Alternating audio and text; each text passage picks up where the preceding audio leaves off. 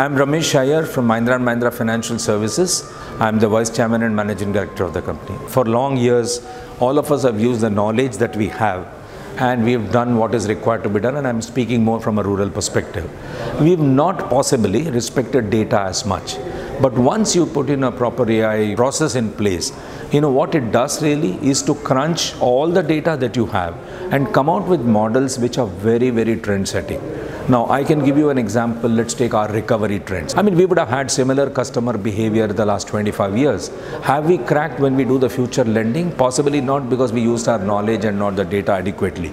But with AI coming in, we are able to forecast the behavior of a consumer going forward and then be able to guide the team on the ground as to how and what they should be really doing.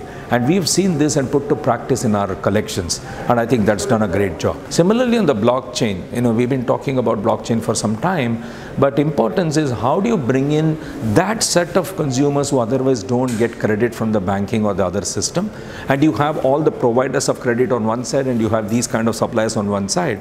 Once you get exposed to their ledgers correctly, I think the two works together, and you can crack the bill discounting solutions, working capital needs of the consumers very, very well. I think uh, the whole space is going to work only on a partnership approach. Gone are days where anybody can say, you know, we will do it all by ourselves.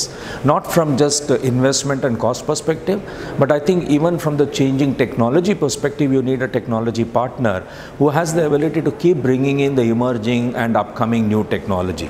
So to that extent, partnership is going to be a must. But the real requirement, or I would think what needs to be addressed is how well are these partners willing to accept your knowledge as the input for developing new technology and i think their selection of partner will be very very important but as I said, working with partners in the technology space is going to be a must and a given. I think, uh, you know, all these fintechs are really taking up your challenges that you've not been able to address as an organization.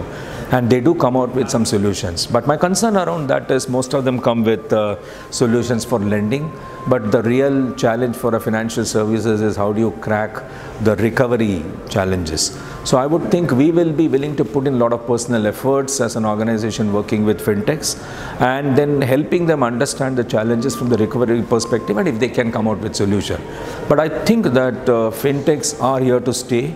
They are the ones who will help financial services crack multiple solutions and if cracked well can open up multiple opportunities.